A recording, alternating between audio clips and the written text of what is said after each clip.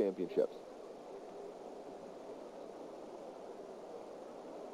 He also has a great routine, but I don't believe he's got the stuff to compete with Chechi. He has a shot at a medal here because of the difficulty of these strength moves. Look at the body position. Nice combination to the inverted iron cross. He's very low down into the ring.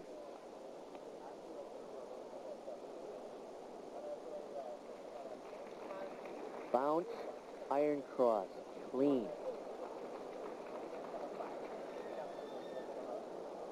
More than a 9-7-1-2 would take Dan Burinca from Romania out of the bronze position. It's going to come down to this landing right here. Clean giant. Very still at the rings. Oh, just a slight hop. Up to the